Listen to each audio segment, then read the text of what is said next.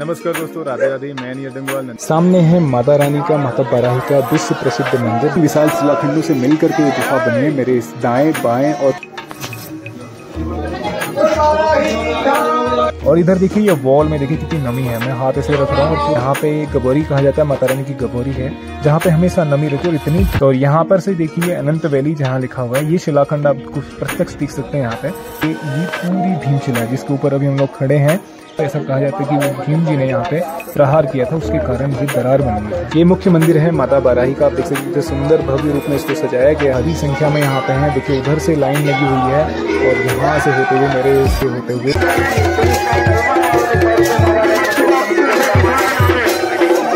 यहाँ गढ़वाल खाम के सदस्य पहुँच चुके हैं और ये परिक्रमा कर रहे हैं और इस पाषाण युद्ध में चारों टीमें दो दो करके मिलती हैं। दो टीमें एक तरफ़ और दो टीमें दूसरी तरफ़ मिलकर नमस्कार दोस्तों, राधे राधे। मैं नी अडंगवाल नंदन करण होम स्टे मुक्तेश्वर से आप सभी का हार्दिक स्वागत करता हूँ। अपने YouTube channel Nandan Karan home stay में। तो आज मैं आपको ले चलने वाला हूँ एक अनोखे सफ़र में। यहाँ से हम लोग जा रहे हैं देवी धुरा बाराही माता जी के मंदिर में, जहाँ पे विशेष रूप से रक्षाबंधन के दिन बहुत बड़ा मेला लगता है। तो रक्षाबंधन की ढेर सारी शुभकामनाओं के साथ साथ में आपको मैं ले चल रहा हूँ इस सफ़र में। तो चलिए, चलते हैं हमारे इस सफ़र में और आप बने रहिए। आपको बहुत ही भव्य दर्शन कराएँगे माता रानी के मंदिर के और साथ ही साथ में यहाँ पे पाषाण युद्ध होता है, जो कि विशेष है यूनिक है पूरे विश्व में तो उसके भी आपको दर्शन कराए जाएँगे। तो चलिए हमारे साथ में शुरू करते हैं आज का ब्लॉग। चलिए शुरू करते हैं आज के इस ब्लॉग को। इस सुंदर नज़ारे के साथ में आज मौसम क्लियर है और धूप निकली हुई है। तो हम जा रहे हैं देवीद्वारा धाम में दर्शन करने के लिए।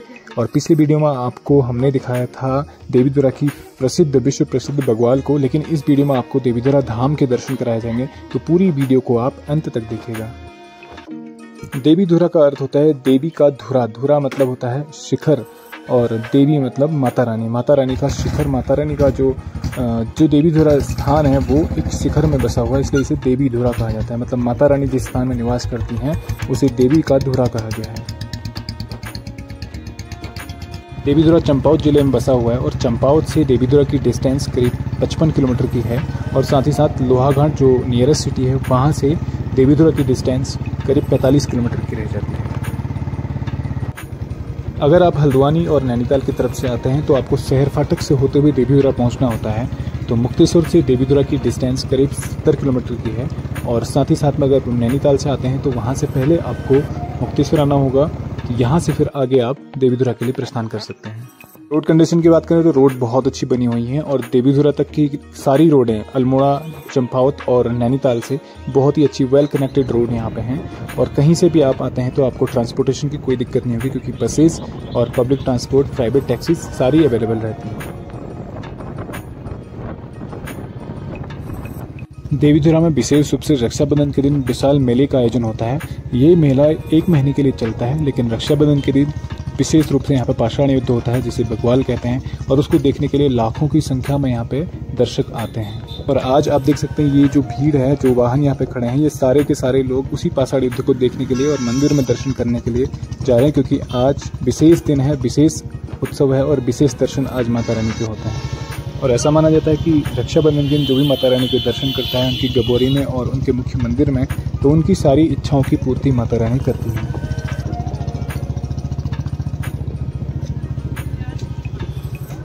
तो हम लोग पहुँच चुके हैं देवीदुरा धाम में। सामने आप देख सकते हैं, ये इस तरह से शहर को सजाया गया है। ये मुख्य चौराहा है, यहाँ से एक रास्ता नीचे जाता है, एक रास्ता ऊपर। नीचे वाला रास्ता सीधे मंदिर में जाता है और ऊपर वाला रास्ता घूम करके मार्केट से होते हुए मंदिर की तरफ़ जाता है। यहाँ पर आप देख सकते हैं मेरी सामने, इस तरफ़ बाईं तरफ़ मेरी जो उंगली के बिल्कुल सामने, ये माता रानी का मंदिर है। चलिए हम घूमते फिरते वहीं पर पहुँचते हैं। ये मार्केट है देवीधुरा की, और यहाँ पर आप देख सकते हैं दोनों साइड में स्टॉल्स लगे हुए हैं। इधर भी हैं और इस साइड में भी मेरी। तो अभी हम लोग जा रहे हैं मंदिर की तरफ़। यहाँ से मंदिर करीब अभी एक किलोमीटर दूर है तो एक किलोमीटर हमें चल करके जाना है। तो चलिए बने रही हमारे साथ में। रक्षाबंधन मेले के अवसर पर पूरे शहर को सजा लिया जाता है एक दुल्हन की तरह। और यहाँ देख सकते हैं ये मार्केट से छोड़ करके अंदर वाला रास्ता है, जो सीधे मंदिर की तरफ़ जाता है। और यहाँ देख सकते हैं भक्तों की इतनी भारी भीड़ है, और विशेष रूप से आज के दिन दर्शन करने के लिए भारी संख्या में भक्त यहाँ पर पहुँचते हैं। क्योंकि आज के दिन विशेष महत्व होता है दर्शन करने का। तो चलिए, बने रहिए हमारे साथ में, और आपको भी हम ले चलते हैं मंदिर में। माता रानी की गगौरी के भी दर्शन कराएँगे, और आपको मुख्य मंदिर के अंदर भी दर्शन कराएँगे। तो चलिए हमारे साथ में बने रहिए। फाइनली हम लोग मंदिर के निकट पहुँच चुके हैं और सामने है माँ बारी मंदिर और हम जा रहे हैं यहाँ से मंदिर में अंदर दर्शन करने के लिए। चलिए आपको भी दर्शन कराते हैं। सामने है माता रानी का, माता बराही का विश्व प्रसिद्ध मंदिर, जहाँ पे माता रानी निवास करती हैं। माता बराही जो है, भगवान के जो तीसरे प्रमुख अवतार हैं, जब पृथ्वी को हिरणक शुक्र के बड़े भाई हिरणाक्ष ने डुबा दिया था तो भगवान ने वराह अवतार लिया था वराह अवतार की जो शक्ति है, उसी समय से पृथ्वी को वराही के रूप में जाना जाने लगा और भगवान वराह की जो शक्ति हैं, उनको बाराही कहा जाता है। तो माता रानी का यहाँ पे गबोरी के अंदर जो तीन शिलाओं से बनी हुई गबोरी है मतलब गुफा है, उसके अंदर जो गबोरी है, गबोरी में शिला के रूप में माता रानी को बाराही जी को पूजा जाता है। ये मंदिर का मुख्य प्रवेश द्वार है, जहाँ से हम लोग सीधे गबोरी के अंदर भी जा सकते हैं और साथ ही साथ में जो मंदिर है, मुख्य मंदिर, उसमें प्रवेश कर सकते हैं। सबसे पहले हम लोग जा रहे हैं गबोरी में, गुफा में माता रानी के दर्शन करने के लिए। तो चलिए, आप भी हमारे साथ में, आपको भी दर्शन कराते हैं माता रानी के। आप देख सकते कितनी भीड़ है यहाँ पे, कितने सारे भक्त यहाँ पर आए हुए हैं माता रानी के दर्शन करने के लिए। तो चलिए आप भी। माता रानी की जो पवित्र गुफा है, यहाँ पे तीन विशाल शिलाओं की मिलने से बनी हुई है तो तीन शिलाएँ यहाँ पे आपस में एक से दूसरे सट करके रुकी हुई है और उन्हीं के बीच से जो रास्ता बनता है वही यहाँ पे गुफा होकर के गबोरी तक पहुँचता है। तो ये सिलाएँ यहाँ पे जैसे बॉल होती है, बॉल की तरह और विशाल सिलाएँ यहाँ पे कैसे रुकी हैं, ये अपने आप में आश्चर्य है। कई लोग इसके रिसर्च में लगे हुए थे, लेकिन कोई भी इसका रिज़ल्ट नहीं निकाल पाए क्योंकि माता रानी की शक्ति के द्वारा बंद करके यहाँ पर रुकी हैं। ये देख सकते हैं यहाँ पे सिलाएँ दिख रही हैं।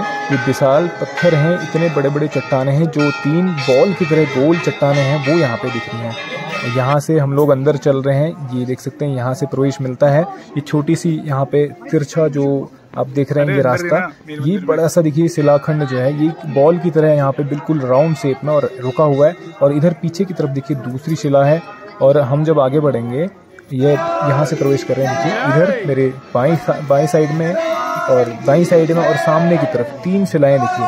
ये तीनों सिलाएँ मिल करके बीच में जो होल बन रहा है, उसी रास्ते को यहाँ पे गुफा माना जाता है और उसी के अंदर माता रानी निवास करती हैं। ये गुफा का बाहरी रास्ता है यहाँ हम बाई साइड से अंदर प्रवेश करते हैं और इस रास्ते से वापस हम लोग वापस मंदिर की तरफ़ आते हैं। ये देख सकते हैं बड़ी बड़ी शिलाएँ जो बॉल की तरह दिख रही हैं। इतनी विशाल शिलाएँ हैं दिखने में, हालाँकि कैमरे में बहुत छोटी लग रही हूँ, लेकिन जब सामने प्रत्यक्ष देखेंगे, बहुत विशाल विशाल शिलाएँ हैं। तो यहाँ से हम लोग प्रवेश कर देखिए, एक बार में सिर्फ़ एक आदमी ही यहाँ से प्रवेश कर पा रहा है। तो बहुत ही सकरा रास्ता है। तो चलिए, आपको मैं दर्शन कराता हूँ।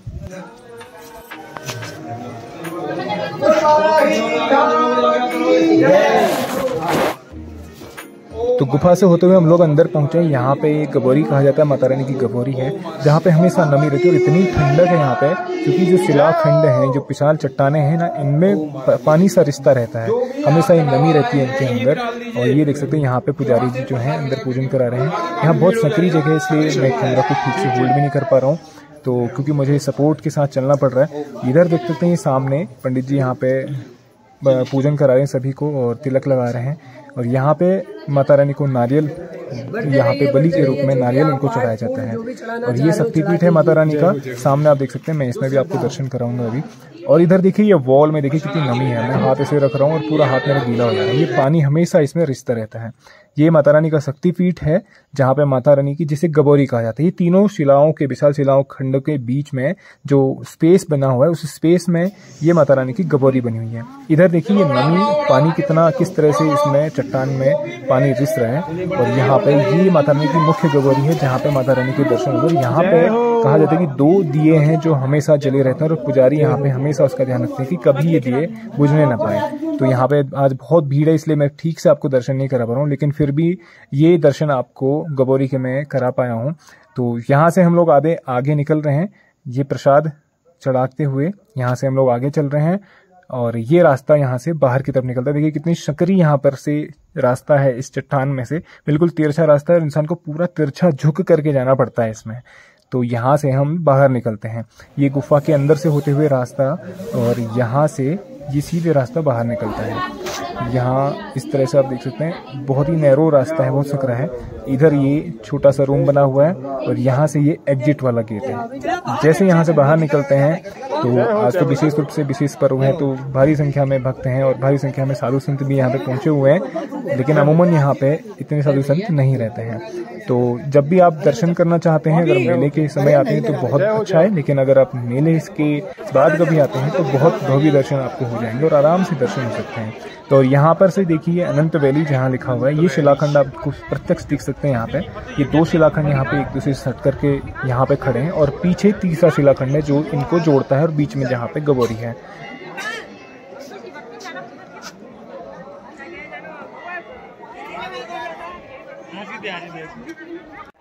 और अब यहाँ से हम आगे बढ़ रहे हैं भीमशिला की तरफ़। भीमशिला जो कि जहाँ पे ये अनंत वैली है, अनंत वैली से बिल्कुल सामने की तरफ़ रास्ता है और ये सीधे भीमशिला की तरफ़ जाता है।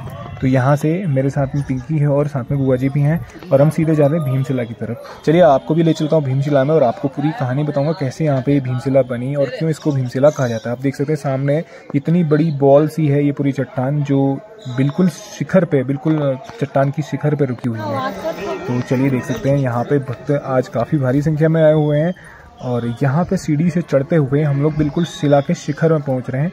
और ये है शिला जिसमें अभी कह रेलिंग्स बना दी गई हैं, नहीं तो ये बिल्कुल ओपन था इस तरह से क्योंकि बहुत रिस्की है, यहाँ से पूरी खाई बिल्कुल नीचे दिखती है। ये आप देख सकते हैं बॉल की तरह ये चट्टान इस शिलाखंड के ऊपर रुकी हुई है और यहाँ से आगे आप देखिए, ये पूरी भीमशिला है, जिसके ऊपर अभी हम लोग खड़े हैं और यहाँ से पूरा चारों तरफ़ का नज़ारा बहुत ही बेहद खूबसूरत है। और यहाँ पे ये कुछ भी मंदिर बना दिया गया है। तो ऐसा कहा जाता है कि ये जो शिला है, इस शिलाखंड में भीम जी यहाँ पे तपस्या करते थे और एक बार उन्होंने यहाँ पे प्रहार किया था इस शिलाखंड में तो ये दरार उसमें उनके प्रहार से बन गई थी। आप देख सकते हैं, पूरी जो शिलाखंड है, ये दो भागों में टूटी हुई है। मतलब एक सिरे से लेकर के दूसरे सिरे तक देखेंगे ना, ये पूरी दरार एक सिरे से दूसरे सिरे तक पहुँची हुई है। तो ऐसा कहा जाता है कि भीम जी ने यहाँ पे प्रहार किया था, उसके कारण ये दरार बन गई थी इसमें। और यहाँ बाहर की तरफ़ देख सकते हैं, पूरी वैली बिल्कुल नीचे गहरी खाई, अगर कोई यहाँ से गिर जाए तो बचना नामुमकिन है उसका। और सामने बहुत ही बेहद खूबसूरत नज़ारा दिख रहा है, और देवदार का जंगल है यहाँ पे। चारों तरफ़ ये देवरार के जंगलों के बीच में बसा हुआ देवीदुरा शहर। यही वो दरार है जो भीम जी के प्रहार से बनी और इस सिरे से लेकर के बिल्कुल उस सिरे तक आप सामने देख सकते हैं। पूरा शिला को दो भागों में बांट दिया इसने। अभी हम लोग मौजूद हैं भीमशिला में। मेरे पीछे आप देख सकते हैं भीमशिला है। विशाल शिला यहाँ पे पहाड़ की चोटी में बिल्कुल मौजूद है और रुकी हुई है। और कई सालों से यहाँ पे रुकी हुई है और ऐसा कहा जाता है कि पांडव जब वनवास में थे तो यहाँ पे आए हुए थे। और इस शिला में आपने देखा होगा एक दरार पड़ी हुई है। ये दरार जो है भीम जी की गदा के प्रहार से ऐसी बोला जाता है। तो यहाँ पे प्रत्यक्ष रूप में ये प्रमाण अभी दिखते हैं। वापस हम लोग आ चुके हैं अनंत वैली के पास में और यहाँ से हम लोग जा रहे हैं पीछे पश्चिम वाले गेट से होते हुए मंदिर की तरफ़ और आपको मुख्य मंदिर में दर्शन कराएँगे। तो चलिए यहाँ से होते हुए हम चलते हैं मुख्य मंदिर की तरफ़। यहाँ से हम आगे बढ़ रहे हैं मुख्य मंदिर की तरफ़, और मैं आपको दिखाता हूँ ये जो शिलाखंड है, जिस पहाड़ी पर शिलाखंड टिका हुआ है, इसी पहाड़ी में बिल्कुल टॉप में ऊपर है माता रानी का मुख्य मंदिर। तो हम लोग फिर से पहुँच चुके हैं मुख्य मंदिर में, ये मुख्य प्रवेश द्वार है जहाँ से हम लोग बाहर निकल रहे हैं, और सामने देख सकते हैं भक्तों की संख्या बढ़ती जा रही है, क्योंकि आज विशेष उत्सव है तो भक्त भारी संख्या में आ जाते हैं, लाखों की संख्या में आज दर्शन करने दर्शनार्थी आते हैं।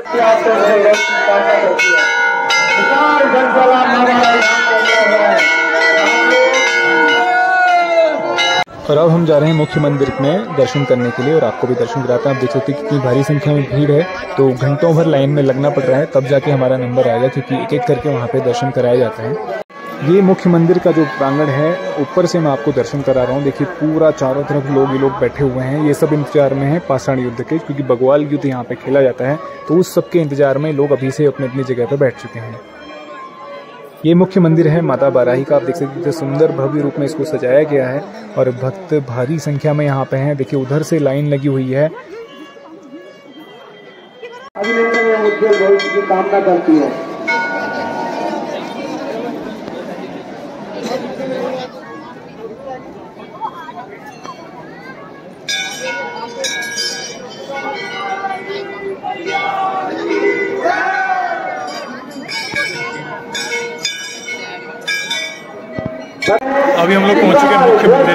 दर्शन करने के लिए आप देख सकते हैं। मेरे पीछे कितनी लंबी लाइन लगी है। ये पूरा देखिए एक एक करके सारे भक्तों को दर्शन कराया जा रहा है। पीछे देख सकते हैं उसकी बहुत बड़ी लाइन लगी है। मेरे आगे इस तरफ़ है। भारी भीड़ होने के कारण आज मंदिर में बाहर से ही दर्शन कराया जा रहा है। अंदर किसी को प्रवेश नहीं करने दे रहे हैं। तो यहाँ से लोग जा रहे हैं और बाहर से ही प्रसाद लेते हुए बाहर से ही भगवान के दर्शन करते हुए चल रहे हैं यहाँ से आगे। श्री त्रिलोक सिंह सिंह नया और ऐसा यहाँ बताया जाता है कि इस मंदिर में यहाँ पे माता रानी की एक स्वर्ण प्रतिमा है। जो कि सिर्फ़ और सिर्फ़ आज के दिन मतलब रक्षाबंधन के दिन इसको निकाला जाता है और उस दिन, रक्षाबंधन के दिन इनको नए वस्त्र पहनाए जाते हैं और जो पुजारी उनको वस्त्र पहनाते हैं, आँखों में पट्टी बाँध करके इस कार्य को करते हैं। अगर आँखें खुली होंगी तो उनकी दृष्टि चली जाती है, ऐसा यहाँ पर माना जाता है। तो आज उनके भव्य दर्शन यहाँ पर होते हैं, लेकिन अभी जो है बाहर से ही दर्शन कराए जा रहे हैं। तो मंदिर में अंदर प्रवेश नहीं मिल रहा है, क्योंकि बहुत भीड़ है। अगर एक एक करके अंदर दर्शन करने जाएँगे तो सुबह से शाम तक सारे भक्त दर्शन नहीं कर पाएँगे, इसलिए मंदिर ने व्यवस्था ऐसी की है कि बस बाहर से दर्शन करें और चलते रहें। तो मंदिर दर्शन करने के पश्चात हम लोग वापस आ चुके हैं कोलीखंड ग्राउंड में और यहाँ पर आप देख सकते हैं छोलिया नृत्य चलने वाला है। ये लोग यहाँ से जा रहे हैं ग्राउंड की तरफ़। तो इनके साथ साथ चलते हैं ग्राउंड में और आपको दिखाता हूँ मैं इनका छोलिया नृत्य।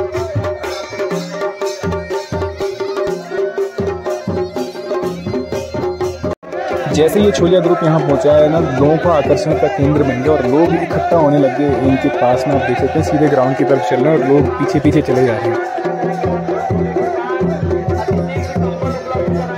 यह उत्तराखंड की अद्भुत संस्कृति का नमूना देखिए, छोलिया नृत्य। यहाँ का पारंपरिक छोलिया नृत्य और छोलिया नृत्य जो है, पारंपरिक पहनावे में और पारंपरिक वाद्य यंत्रों के साथ में आप देख सकते हैं, बहुत ही भव्य और अलौकिक यहाँ के छोलिया नृत्य के दर्शन।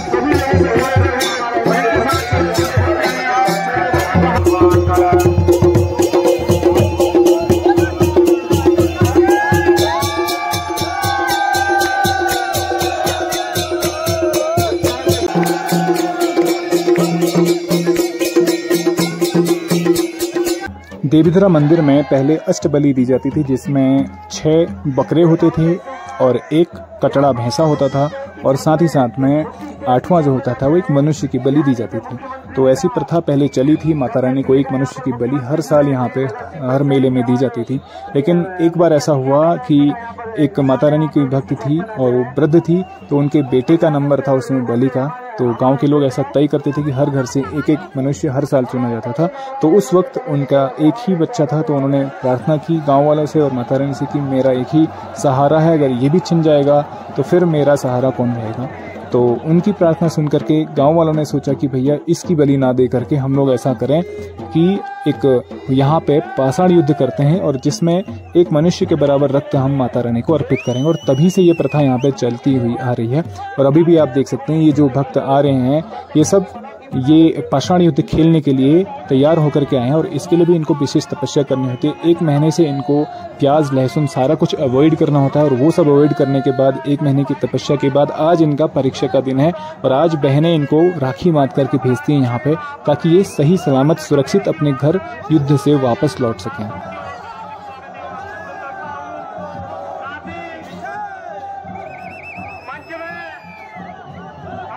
पाषाण युद्ध और बगवाल जो है, काफ़ी प्राचीन समय से यहाँ पे परंपरा चली आ रही है और हर साल मेले के दिन ये युद्ध यहाँ पे खेला जाता है, जिसमें चार टीमें होती हैं, चार खाम यहाँ पे बने हुए हैं, जो पारंपरिक तरीके से पहले से ये चली आ रही हैं, जिसमें वालिक खाम, चम्याल खाम गहड़वाल खाम और साथ ही साथ में लमगड़िया खाम, ये चारों खामों में योद्धा आते हैं और अपनी अपनी शक्ति प्रदर्शन करते हैं यहाँ पे और बाद में जब पुजारी जी के आदेश के अनुसार यहाँ पे युद्ध प्रारंभ होता है तो फिर युद्ध में पार्टिसिपेट करते हैं। पुजारी जी के आदेश के अनुसार यहाँ पे युद्ध प्रारंभ कर लिया जाता है और पुजारी जी ही उस युद्ध को रुकवाते हैं। जब एक मनुष्य के बराबर रक्त यहाँ पे बह चुका होता है, उसके बाद इस युद्ध को पुजारी जी के संकनाथ के द्वारा रुकवा दिया जाता है।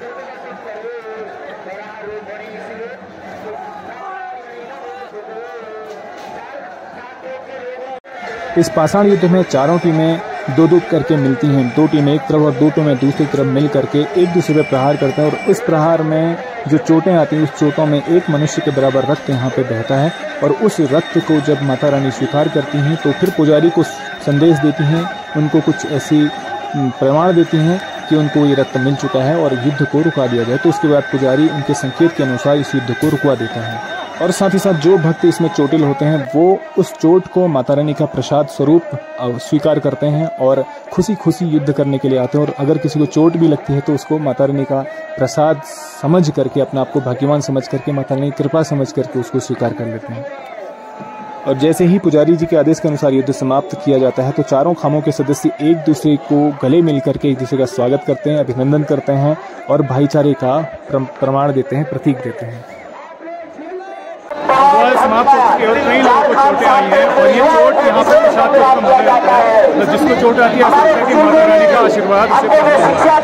तो पाषाण युद्ध पहले पत्थरों से होता था, अभी इसको कुछ फलों से भी रिप्लेस किया गया है, लेकिन आप देख सकते हैं पत्थर भारी संख्या में नीचे हैं ग्राउंड में अभी भी पड़े हुए हैं। तो ये युद्ध पत्थरों का है और अभी भी पत्थर यहाँ पे चलते हैं। फाइनली यहाँ से दर्शन करने के पश्चात हम लोग लौट रहे हैं वापस घर के लिए और अभी भी भीड़ काफ़ी है क्योंकि यहाँ से हम लोग जल्दी निकल लेंगे तो जल्दी घर पहुँच जाएँगे। अदरवाइज़ जाम की स्थिति हो जाती है क्योंकि बहुत भीड़ यहाँ पे है, जितने वाहन आपको दिख रहे हैं, सारे आज घर लौटते हैं। तो जल्दी जल्दी हम यहाँ से वापस चलते हैं घर के लिए। सो so फाइनली हम लोग माता बाराही के धाम से वापस आ चुके हैं घर पे और बहुत ही भव्य दर्शन हमें आज हुए वहाँ पे माता रानी के, क्योंकि रक्षाबंधन के पर्व में विशेष रूप से वहाँ पे विशेष मेला लगता है, विशेष आयोजन होता है और ऐसे में बहुत ही भव्य दर्शन होते हैं माता के पिंडी दर्शन भी और साक्षात माता रानी का जो मुख्य मंदिर है, वहाँ भी बहुत ही भव्य दर्शन हुए। और लाखों की संख्या में आपने देखा लोग यहाँ पे आते हैं विशेष रूप से रक्षाबंधन के पर्व के मौके में, क्योंकि इस बीच में यहाँ पे पूरे एक महीने तक का एक मेला लगता है, जिसे आषाढ़ी कौतिक मेला कहा जाता है, बाराही का मेला। तो इसीलिए हर कोई बार, बाराही मैया की जय जयकार करते हुए इस यात्रा में जाते हैं और वापस अपने घर प्रसाद लेकर के माता रानी का आशीर्वाद लेकर के आते हैं। तो उम्मीद करता हूँ आपको ये ब्लॉग पसंद आया होगा। ब्लॉग पसंद आए प्लीज़ इसको लाइक कीजिए शेयर कीजिए और कमेंट कीजिए। और यदि आप चैनल में नए हैं तो प्लीज़ चैनल को सब्सक्राइब कीजिए और बेल आइकन प्रेस करना मत भूलिए। बेल आइकन प्रेस कीजिए ताकि कोई भी हमारा नया ब्लॉग प्रदर्शित होता जाए तो नोटिफिकेशन के माध्यम से आपको मिल जाएगा। तो हमेशा से हमारे साथ ऐसे बने रहने के लिए आपका बहुत बहुत धन्यवाद। मिलते हैं नए ब्लॉग में। तब तक के लिए राधे राधे